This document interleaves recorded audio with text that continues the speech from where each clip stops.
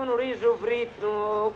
Chi traiga te coro ogni tempesta, est un riso veo, un frutto desinfelice, è stato un meo.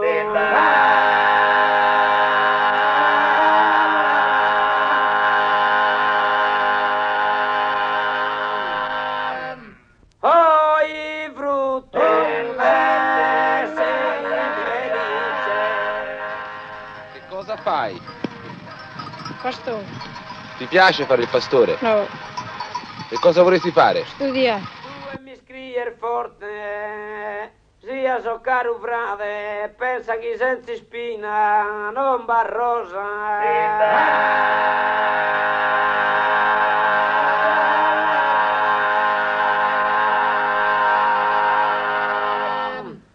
Sardegna 1965. Un'isola in cui convivono fianco a fianco il vecchio e il nuovo. Aspetti tradizionali che si perdono nella storia e aspetti nuovi che inseriscono la Sardegna nel mondo moderno. C'è un'isola chiusa nella tradizione e nel costume e c'è un'isola che si apre ora al mondo della tecnica, dell'economia, della produzione. Tra i due termini di vecchio e di nuovo, di tradizione e di modernità, stanno i problemi e le realtà concrete della Sardegna di oggi. Sardegna 1965.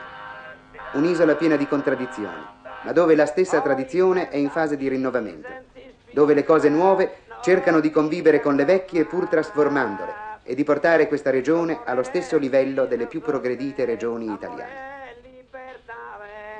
Oh,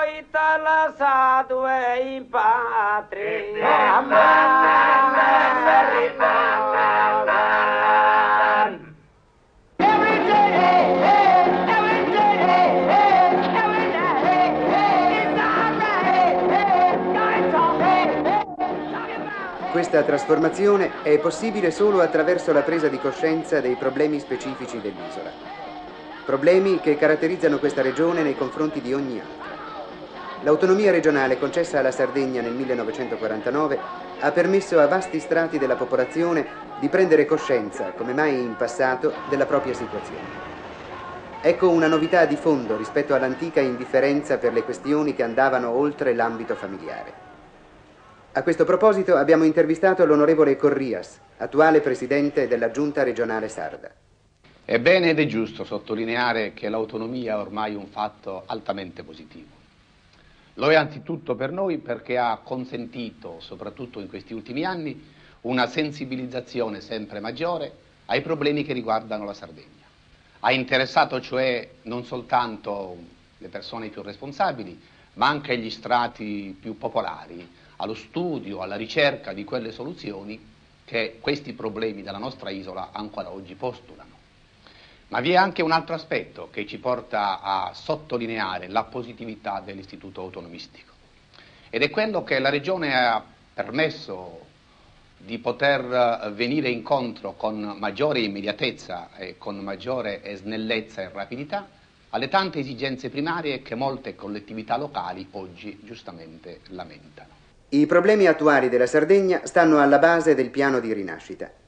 Il piano è un programma organico per il rinnovamento e lo sviluppo dell'isola, concepito allo scopo di portare la sua economia e la sua vita sociale ad un livello di efficienza e di modernità. Sul piano di rinascita oggi converge l'attenzione unanime dei sardi, anche se poi risulta diverso il loro atteggiamento. Si va da una valutazione positiva ad una fortemente critica, da un'attesa miracolistica di benefici gratuiti ad una consapevole fiducia circa le reali possibilità che il piano ha di mutare le condizioni generali dell'isola. Oggi il piano sta per diventare operante. Verrà realizzato in 12 anni. La sua prima fase quinquennale è già stata programmata e attende l'approvazione dell'Assemblea regionale sarda. Sul ruolo dell'Assemblea nella programmazione del piano abbiamo intervistato l'onorevole Cerioni, presidente dell'Assemblea stessa. Nella programmazione regionale il ruolo dell'Assemblea è un ruolo preminente, perché l'Assemblea ha formulato una delle due leggi in base alle quali il piano si realizza e ne segue costantemente la realizzazione, sia nelle fasi di programmazione generale, sia nelle fasi di programmazione particolare. In questo modo soltanto si attua davvero in Sardegna una programmazione democratica. In quale ambiente umano, economico e sociale si inserisce oggi il piano di rinascita? Ma prima di tutto, fino a che punto la tradizione incide ancora sugli atteggiamenti e la mentalità dei sardi di oggi? A Dittiri, un grosso centro poco distante da Sassari, la tradizione significa anche per le donne l'obbligo di indossare ancora il costume caratteristico del paese. Gli uomini, invece, come in tutta la Sardegna, lo hanno da tempo abbandonato. È stata l'esperienza collettiva fatta nelle trincee della Prima Guerra Mondiale a provocare l'abbandono del tradizionale abbigliamento maschile.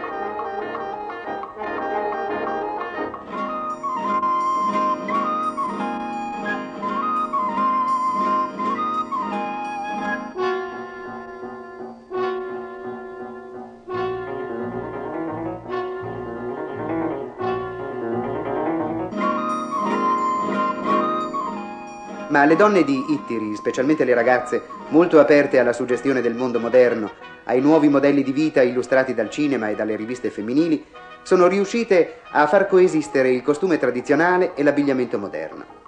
Le novità negli atteggiamenti si configurano dunque per le ragazze di Ittiri sotto forma di disinvolto compromesso. Sembra che il costume serva solo fuori dell'uscio della propria casa.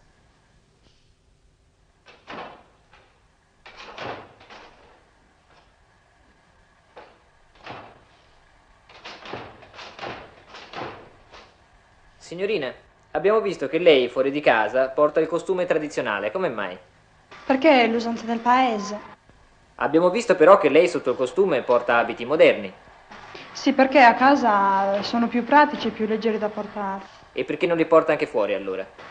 Perché l'usanza sta scomparendo, comunque ci sono ancora che portano il costume e certe ragazzine portano anche il costume civile. Lei va a ballare, signorina? Qualche volta. Ma i genitori la mandano volentieri? Beh, sempre accompagnata. Ma di nascosto, qualche volta ci va da sola? No. Veramente? Ma ho saputo però che qualche volta, di nascosto... È vero? Beh, qualche volta. Ma al di là del costume caratteristico della donna sarda, la tradizione si spinge molto più in profondo e lontano. Nell'immobilità della vita dei pastori e nel paesaggio sembra che la storia dell'isola non sia ancora incominciata. Fuori della storia si situano i nuraghi, costruzioni di pietre a forma di tronco di cono, e attorno la solitudine di un paesaggio spoglio lasciato al pascolo brado. I nuraghi, che risalgono al secondo millennio a.C., erano abitazioni fortezze delle varie tribù. Gli antichi abitanti della Sardegna non riuscirono mai a stabilire dei durevoli rapporti di convivenza tra loro. La vita era limitata al villaggio e dentro il villaggio a quella del clan, e all'interno del clan alla vita del gruppo familiare. La loro casa, il nuraghe, non era tanto una dimora quanto un riparo, un rifugio di fronte ai nemici e alle intemperie. Il nuraghe può essere assunto come il simbolo della vita del pastore sardo di oggi, una vita trascorsa nella solitudine della campagna e in condizioni difficili di lavoro. Il suo isolamento e l'arretratezza del suo lavoro rappresentano oggi un problema concreto che deve essere risolto urgentemente.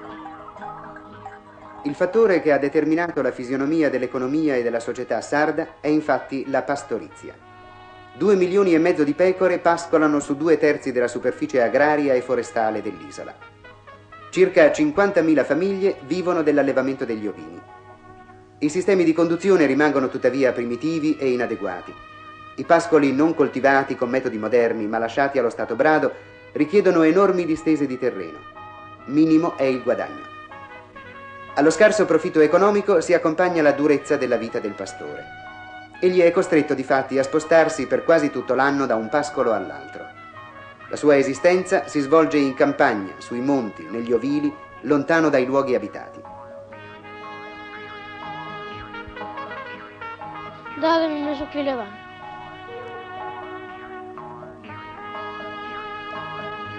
A Tiesi, un paese della parte nord-occidentale della Sardegna, un bambino, figlio di un pastore, è sceso in paese per la provvista necessaria al padre in campagna. Il pane, assieme alla ricotta e al formaggio, sono gli alimenti base del pastore. Mentre le donne rimangono a casa, i figli sono infatti strettamente associati fin dall'infanzia al lavoro del padre. La famiglia pastorale si presenta come una unità di lavoro. I figli aiutano il padre nella sorveglianza delle pecore e fanno, per quanto è possibile, da collegamento fra i paesi e i pascoli dove stanziano i greggi. Dove stai andando? A portare la provvista a mio padre. Come? A portare la provvista a mio padre. Vai a scuola? Sì, Che classe fai? la quarta. Non importa che parli così forte, parla più piano. E fai anche il pastore, vero? Sì, E quando studi? La mattina quando me ne sto dal letto. E quando è che guardi le pecore? Quando sono ehm, in campagna. Ma di giorno, il pomeriggio, la mattina? Là, il giorno e la sera. pure. Anche di notte? Sì, qualche volta. Dopo le scuole elementari, cosa farai? Se Bob me le me le sa fare faccio le medie. E quelli che non studiano cosa sono per te? Asini. C'è molto tempo per arrivare al gregge? Sì, ma bisogna scendere dalla macchina e andare a piedi. Anche questo pastorello, come la maggioranza dei figli dei pastori, sente la necessità di modificare la sua vita. Il desiderio di imparare rappresenta già una novità rispetto alla condizione generale di analfabetismo o di semi-analfabetismo dei pastori sardi. Oggi i padri si sentono incalzati da un nuovo mondo, spesso avvertito attraverso un figlio che vuole studiare. Sodoma. Cosa hai detto? Siamo arrivati alla casa.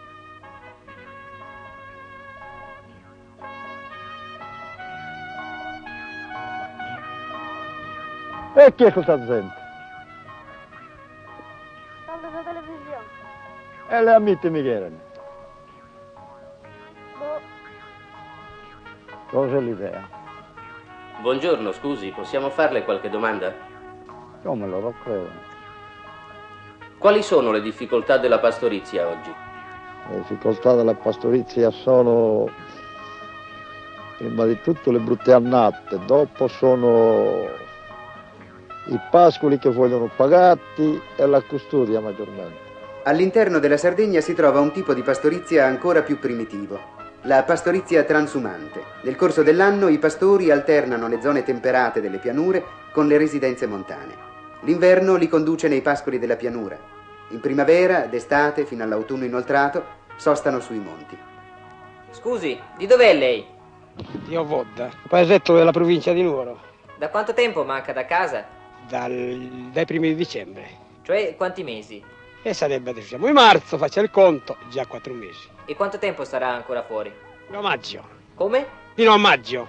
Mi dica, sente molto la lontananza della famiglia? E che si sente, senz'altro. E qui lei sta molto solo. E certo che bisogna stare solo, e cosa vuol fare? Siamo di fuori, e dove dobbiamo andare? Tocca stare in campagna, nel- nell'uvile. Sono cari i pascoli qua. E hanno il prezzo suo già, se ci fanno pagare. E quanto costano? Beh, comunque a Ettero si paga su 15.000, comunque può allevare tre pecore, una cosa del genere. Come pagate? Pagate in cambiali? Eh, qui sic- siccome siamo di fuori, sa, e ci fanno firmare sempre le cambiali, e se non paghiamo poi se ne protestano. Quanto guadagna lei in un anno? E dalle volte anche niente, sa, dalle volte torniamo a carro vuoto in montagna, secondo l'annata, qualche cosittina, non la giornata, non ci viene mai pagata la giornata a noi. L'alto prezzo dei pascoli, la minaccia delle cambiali, la sproporzione che corre tra i grossi sacrifici e gli scarsi e incerti guadagni, le speranze sempre affidate alla clemenza del tempo, che in pochi giorni può distruggere le fatiche e le attese di un intero anno, questi sono i problemi della pastorizia sarda. La situazione difficile in cui essa versa richiede l'adozione di metodi di conduzione moderni. Attorno agli obiettivi che il piano di rinascita si propone nel settore della pastorizia, si è interrogato l'onorevole Soddu, assessore al piano di rinascita. Per la pastorizia, che è il settore tradizionale, uno dei settori tradizionali più importanti eh, della Sardegna, noi ci proponiamo di far crescere questa attività, di razionalizzarla, di modernizzarla, di creare in una parola aziende zootecniche moderne, capaci di dare anche agli addetti alla pastorizia un reddito e una stabilità di lavoro e una sicurezza eh, sociale nelle campagne, quale oggi probabilmente non esiste. Durante i mesi in cui gli uomini sono lontani, dietro al gregge, nei paesi dei pastori restano soltanto i vecchi, le donne e i bambini piccoli. a Fonni, in una famiglia di pastori.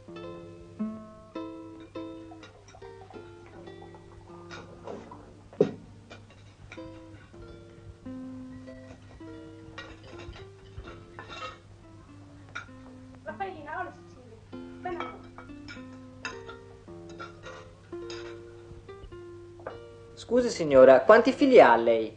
Sette. Ma qui ce ne sono sei soltanto. Uno è fuori a Sassari. E che fa a Sassari? Studia.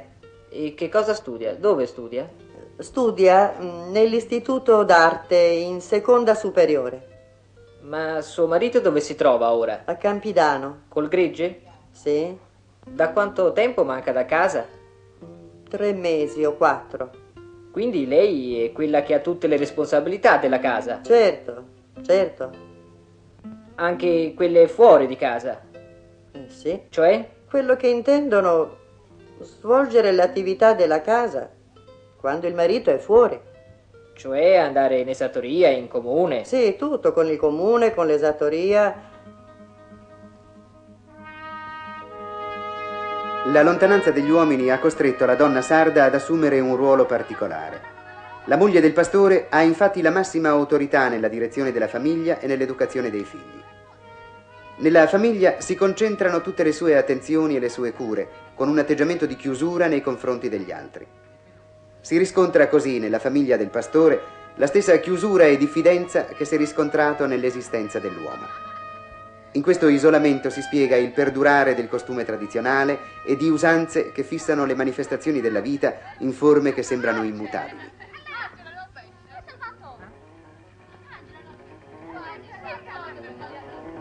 Oliena, un paese nel centro dell'isola, conserva ancora oggi alcune delle manifestazioni tradizionali sarde, come i costumi e le danze.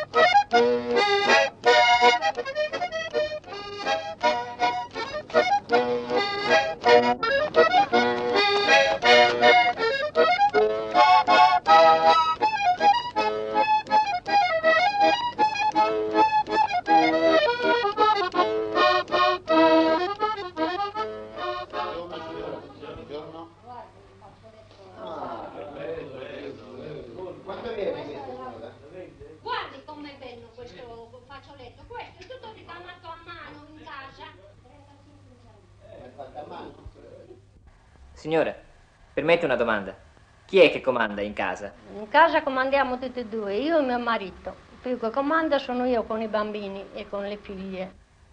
Signore, anche se ha un figlio così grande, lei continua a comandarlo. Il figlio più grande è anche laureato e con affari di scuola non mi interesso perché sono affari suoi, però con affari di famiglia lui non fa nulla senza il mio permesso. E i soldi chi li tiene in casa? I soldi io e mio marito, anzi più io che mio marito. Ma quando suo figlio ha bisogno di soldi, li deve chiedere a lei. Sì, quando glielo danno lo stipendio me lo dà a me e quando le fa bisogno per pagare la macchina, se me lo chiede, glielo do.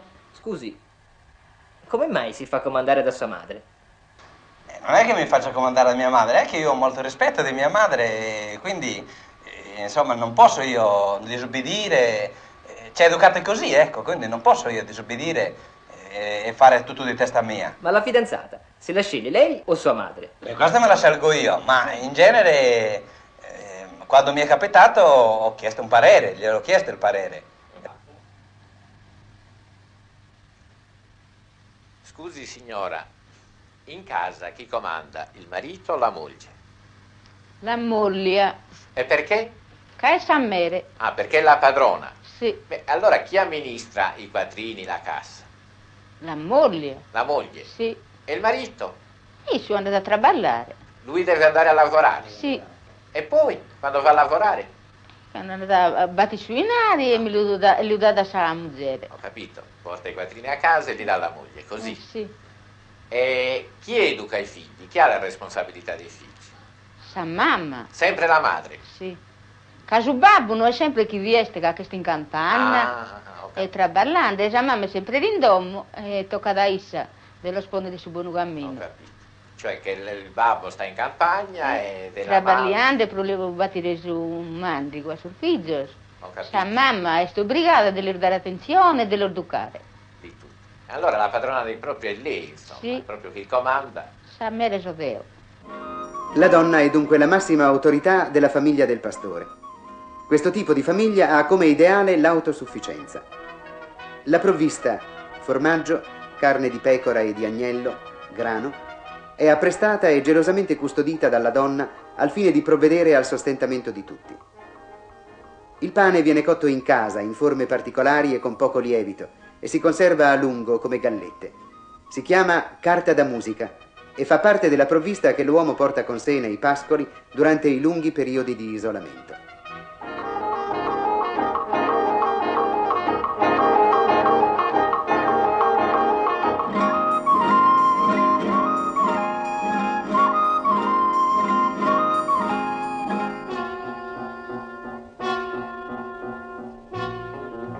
Oggi anche l'autosufficienza della famiglia del pastore è messa in crisi. L'economia di provvista si dimostra sempre meno capace di soddisfare i bisogni della vita attuale. L'economia di mercato, col gran numero dei suoi prodotti di consumo, nuovi e pratici, è entrata da tempo in concorrenza. Polo fortissimo di attrazione, finisce per confinare l'antico ideale di autosufficienza in zone sempre più marginali dell'economia familiare del pastore. L'economia di mercato significa soprattutto città e così ogni giorno gruppi di abitanti dell'interno scendono stipati dentro grosse automobili a Cagliari, Sassari e Nuoro per fare acquisti.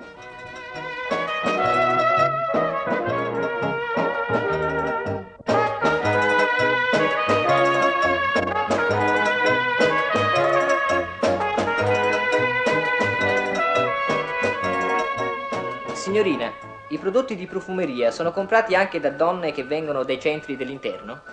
Sì, anche la donna qui della campagna ora vuole truccarsi, usare una crema, vuole insomma rendersi sempre più bella. Signorina, in questo reparto, per esempio, quali prodotti di profumeria sono preferiti dalle donne? Comprano la cipria, la cremina, un po' di rossetto e poi vogliono truccarsi gli occhi, come vedono noi. Anche le donne di una certa età. Donne di una certa età vorrebbero farlo, noi consigliamo sempre naturalmente non un trucco come il nostro, un po' di ombretto, una matita, lo vogliono fare molto volentieri.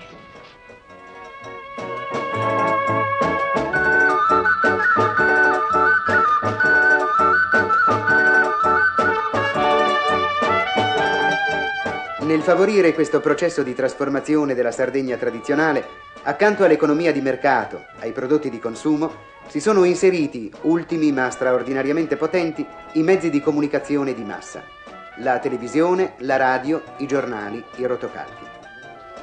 Anche in una casa contadina come questa, lontana dai centri più grandi, il televisore mette concretamente in contatto il ristretto ambito della vita tradizionale sarda con quello più ampio della vita nazionale e attraverso di essa con l'intero mondo di oggi.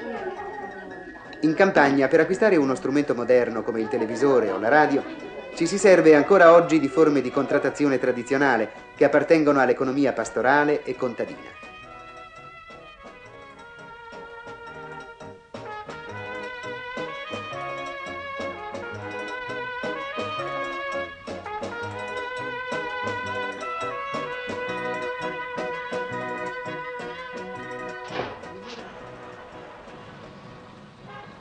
Senta, qual è l'articolo che più vende? La radio? E a chi la vende soprattutto? Beh, la radio va alla casa di tutti, dall'operaio all'impiegato, tutti quanti. E quanti televisori vende l'anno? E la media di una sessantina. 60. E i pastori, gli operai lo comprano? Beh, i pastori e gli operai pochi, comunque li comprano lo stesso. E altri elettrodomestici qua- quali sono i più venduti? Beh, le cucine a gas e il frigorifero.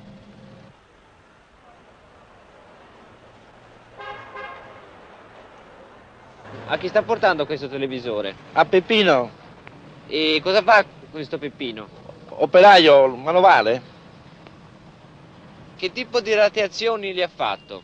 oh, scadenza unica 24 mesi e questo qui non vuole versata la cambiale in banca e ci porta i quattrini ogni qualvolta fa i suoi piccoli risparmi. E pagherà puntualmente? Certamente paga, una volta impegnato è pagato da noi. Senta, ma avete anche altre forme per fare contratti? Sì, usiamo anche all'antica diremo, alla stretta di mano. Portiamo il televisore, si impegnano che in quella tal data lo pagano e viene pagato. Ecco riaffiorare nella stipulazione di un contratto la presenza dell'antica forma di un patto contadino, la semplice stretta di mano. Questa è dunque la Sardegna tradizionale che avverte le difficoltà della propria situazione e che sta oggi superando l'insufficienza di un sistema economico e sociale arretrato. Alla Sardegna tradizionale, legata alla terra, non appartengono solo i pastori, i contadini, le donne nelle cui mani sta l'intera responsabilità della casa, ma anche i cosiddetti signori. Chi sono i signori di questa terra che si sta trasformando e che deve essere appunto aiutata nel suo sforzo di trasformazione? Scusi, vorremmo farle una domanda. Chi sono secondo lei i signori in questo paese? Il farmacista, il sindaco, il dottore, Marongiu e l'altro eh, deve essere Congiu. E che mestiere fa questo Congiu? Dottore. Scusi signora, vorremmo farle una domanda. Scusi, eh, vorremmo farle una domanda. Secondo lei chi sono i signori in questo paese? Eh, signori, ce ne sono diversi qui. Ma chi secondo lei? Ma come? Come, come intende dire questi signori? Che mestiere fanno quelli che lei considera signori? Bah, eh, guardi, ci sono... C'è l'ufficiale postale, bravissimo. Poi non solo l'ufficiale postale, c'è quello del banco, c'è il farmacista, c'è... Non è che sia un paese così. Scusi, le faccio una domanda. Secondo lei, chi sono i signori del paese? Signore del paese sarà il sindaco. E poi? Le, le, il cari- il maresciallo, diciamo, l'autorità. Buongiorno, dottore. Buongiorno. Scusi, vorrei farle una domanda. So che in paese lei è considerato un signore. Qual è secondo lei il motivo di questo giudizio? Ma soltanto perché sono un professionista e in questo paese quasi tutti i professionisti vengono considerati signori, non c'è altra ragione. Scusi, dottor Marrongio, Dica. è lei il sindaco di questo paese, vero? Sì.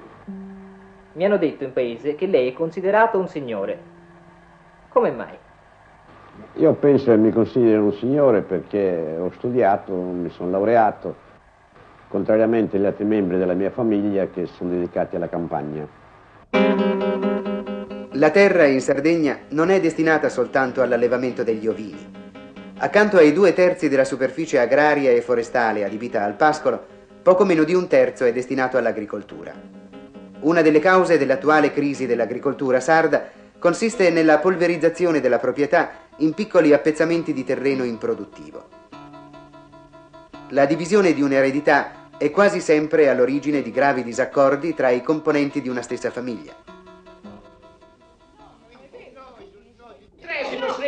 Srevi da nulla. Capitale, sei un 5 fillo, non mi interessa. Ascolti pago pago, e voi ti sei un 5, ti vedevo sul 5, giustamente, no? Non devo fare un fillo e un fillasto. Ma Eh, ma ma no. no, prima de- Ma è Tocca da esatto, sistemare le questa avute cosa. perché- E la Eh, vedete, sì, una buona questa volta è questa sempre. questa i sulle savate su, comunque È tutto su da Piotelli Savano. Comunque, Ma de- te, del peo di chi sei un 5 del peo di PD Comunque, secondo me, un bene si pone d'accordo a definire sanzione come No, no, no, pochino tempo.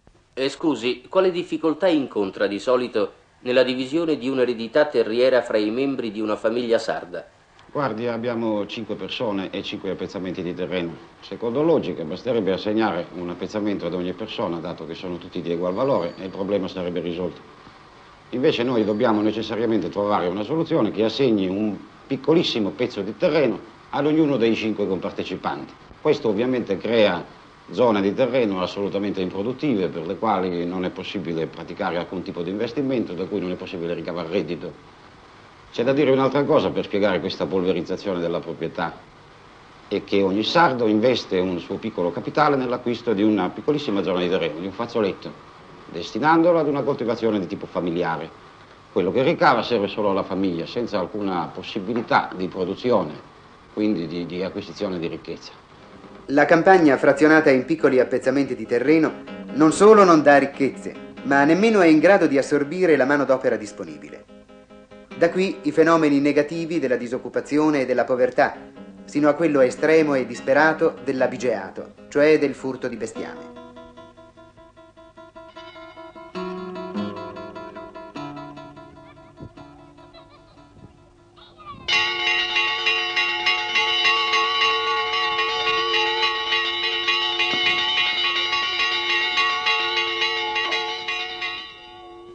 Scusi, che mestiere fa lei? Agricoltore. In questi giorni sta lavorando o è disoccupato? Sono disoccupato. Lei che mestiere fa? Bianchino. E c'è lavoro per un imbianchino a Ottana? No, no. E allora? Allora bisogna che me lo cerco io il lavoro. E dove se lo cerca? Eh, me ne vado fuori a cercarmi il lavoro, perché qui a Ottana non se ne trova. Come mai oggi è qua? Eh, sono, sono qua perché sono sparso, non c'è lavoro. Bisogna andare in estero per, per lavorare. Secondo lei ci sono qua ladri di bestiame? Io dico che non ce ne sono, perché la gente è troppo onesta. Conforme al merito che c'è dovevano rubare tutti, anche le donne. E secondo lei ladri di bestiame ce ne sono? Guardi, ce ne sono per obbligo qui in questo paese. Per obbligo ce ne sono. La disoccupazione è uno dei problemi più urgenti della Sardegna di oggi. Il piano di rinascita ha tra i suoi primi obiettivi quello di assorbire rapidamente tutta la manodopera disponibile nella regione. Gli interventi necessari a mutare radicalmente la situazione già in atto sono interventi in profondità e a vasto raggio. Sulle diverse fasi di attuazione di questo programma e i benefici che ci si propone di raggiungere, abbiamo interrogato l'onorevole Corrias e l'onorevole Soddu.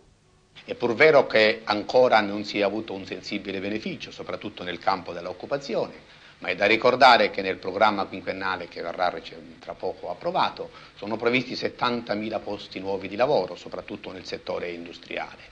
Posti di lavoro ben si intende stabili, cioè non legati ad opere pubbliche che, anche se di rilevanti dimensioni, dopo qualche tempo lasciano di nuovo la manodopera disoccupata, ma posti di lavoro legati a nuove iniziative, le quali hanno una continuità nel tempo e consentiranno lavoro stabile, meglio retribuito e più decoroso.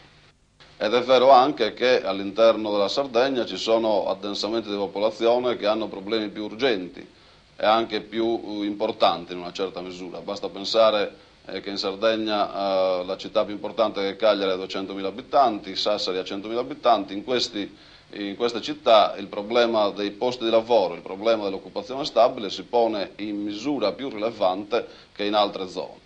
Eh, però oh, gli interventi del piano sono oh, previsti e saranno attuati in maniera diffusa eh, tali da interessare indistintamente tutte le zone dell'isola senza alcuna differenza. L'aspetto da sottolineare è quello che attualmente il piano ha iniziato la sua fase di attuazione e si appresta quindi a rendere alle popolazioni sarde quegli vantaggi che il piano stesso si propone di raggiungere. Il piano di rinascita cosa potrebbe fare per voi? Organizzare del lavoro, delle strade che qui stiamo troppo male, siamo in mezzo al fango, anche delle strade in mezzo al paese e qualche strada anche di fuori come l'autostrada, mettere un po' di operai anche perché non se ne trova. Eh. Cosa ne pensa lei del piano di rinascita? Beh, io ne penso bene del piano di rinascita, a secondo come dicono, perciò adesso aspettiamo però che si metta in atto, insomma, questo piano di rinascita. Come ti chiami? Orto Carmelo. A che ora incominci a suonare? Alle due. E a che ora finisci? Alle sei. E quanto prendi al giorno? 500.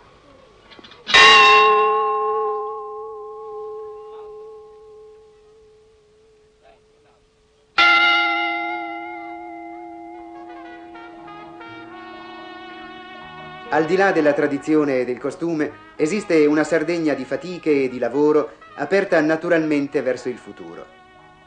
A questa Sardegna si rivolge appunto il piano di rinascita, una realtà che si può incontrare anche in una casa di pastori in riva al mare.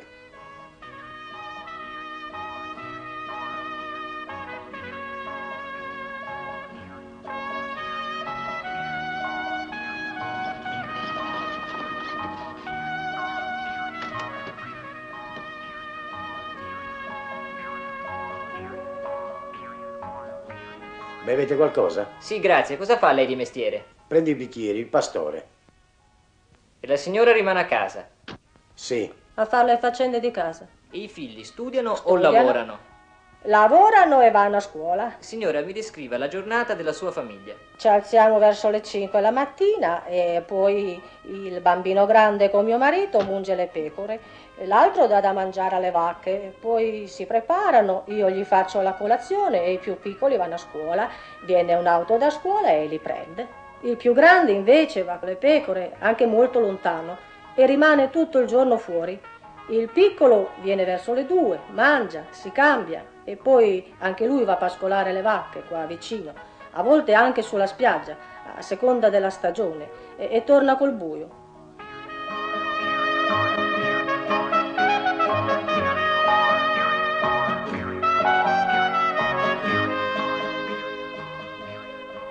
E quando studia? Eh, studia la sera, dopo che fa tutti questi servizi anche di notte con la luce della candela, ma studia molto volentieri.